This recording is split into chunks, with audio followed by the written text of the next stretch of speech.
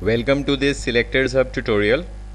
I will explain what is Selectors Hub, how to install Selectors Hub and how to use Selectors Hub. This is the first tutorial in my Selectors Hub free full course.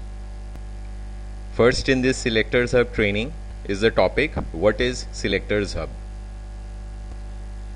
Now you need the correct and unique locator to identify a web element in your test automation script, whether you are using Selenium WebDriver or another tool. Selectors Hub is the free tool to find the correct and unique locators in Selenium etc. You can use Selectors Hub XPath or CSS Selectors Hub as per your requirements in your automation testing script. For example, here I have written a Selenium with JavaScript and what I am doing is I'll go to www.google.com and there I want to find out the search box which is a web element. Now I need the XPath for that. So I, I can either write XPath myself by using the developer tools or I can use Selectors Hub. Selectors Hub is more accurate and user friendly when compared to other tools like the developer tools that you get in your browser. It generates and verifies XPath, CSS selector and also playwright selectors, jQuery etc. I will show you Selectors Hub usage in the latest version of Selectors Hub tool which is version 4.5.4. Next, Selectors Hub install process is easy all you need to do is choose your browser for example I'm going to show you with Google Chrome in the Chrome web store search selectors hub and click it. Then click on add to Chrome add extension and you have to restart your browser. Then only selectors hub will start working.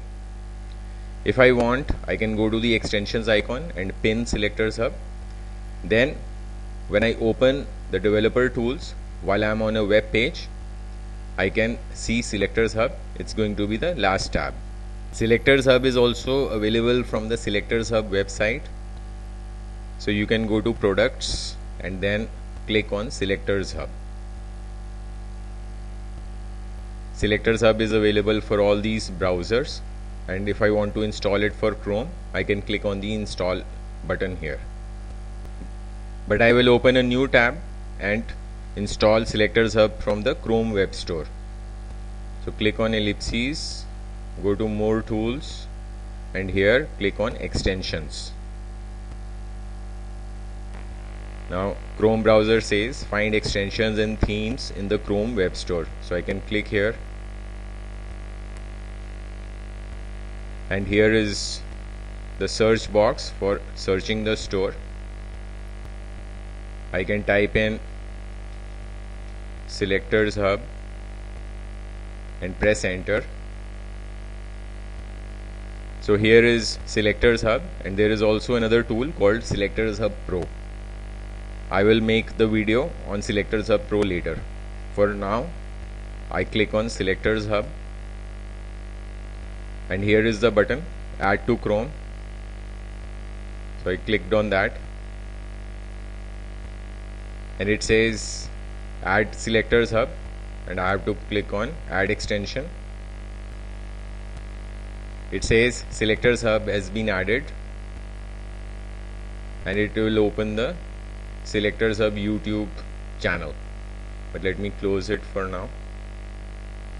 Now what I need to do is to restart the Chrome browser. So let me restart it.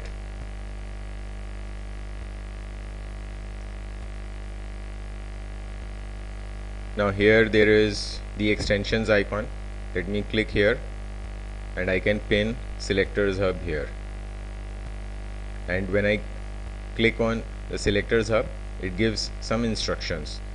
Like after installing selectors hub restart the browser open dev tools on right side of elements tab selectors hub will be visible etc now one thing to remember is that selectors hub needs a web page in order to work. How to use selectors hub?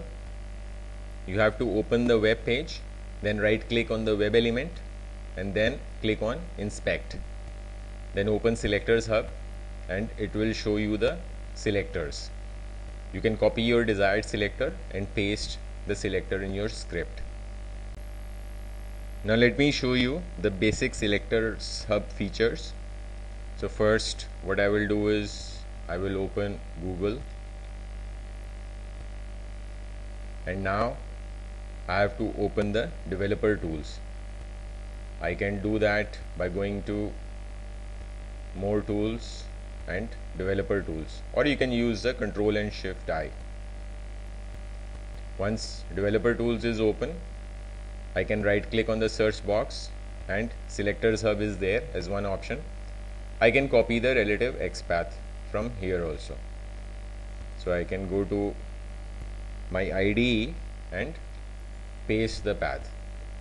Now this is going to be the correct and unique locator and I can work with it. Another option is that I right click on the search box and click on inspect. So in dev tools it shows it's an input with some class etc given but I want to see it in selectors hub so on the right hand side rightmost tab is selectors hub. Now selectors hub is showing all these in the UI so here we can see the suggested selectors. For example this is a relative CSS selector. Input title is equal to search. There is a relative XPath suggested by selectors hub which is starting with two forward slashes input title is equal to search etc so if I want I can copy it by clicking anywhere. So if I click here relative XPath is copied. And now I can write and verify XPath here. So let me paste it and press enter. When I press enter it says one element is matching.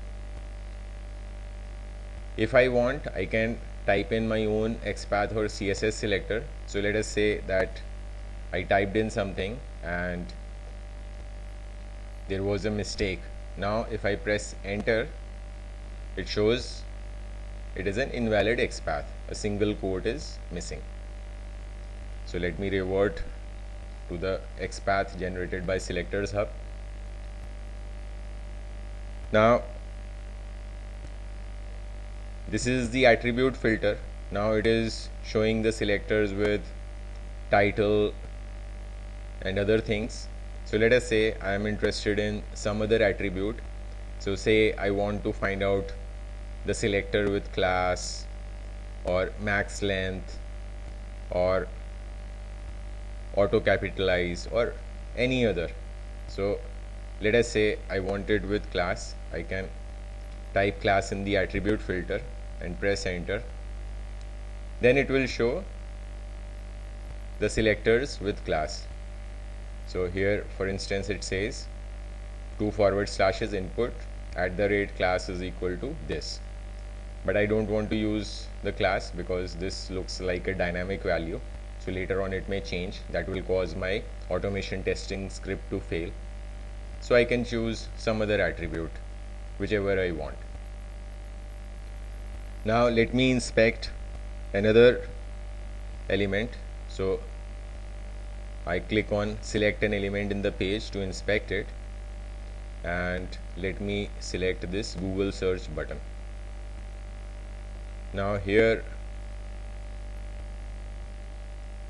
this is the Google search button. And here you can see that se selectors hub has suggested that it's a div and div class has this thing some class name and then input class name is there. And in relative XPath it gives a warning also. It says class looks dynamic uncheck the class checkbox or delete the class attribute from the attribute box. So I have to do I have to delete it here and then press enter so still it is showing with class. So let me uncheck class from the attribute filter. So now it is showing some relative XPath but this is an absolute XPath it starts from the body etc but this index XPath looks promising. So it is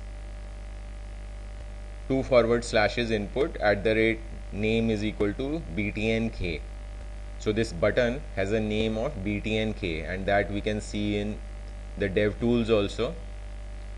Name is equal to btnk and the index is 2 that is why it is called an index XPath let me copy it by clicking here. And I can paste it here and press enter. Now it says one element matching but this is with the index. Now if I remove the index why it is showing the index so it says on this web page there are two input boxes whose name is btnk and I can find it in the DOM also here. So that is why it was showing it with index. Now if I want let me revert to that. And it says one element is matching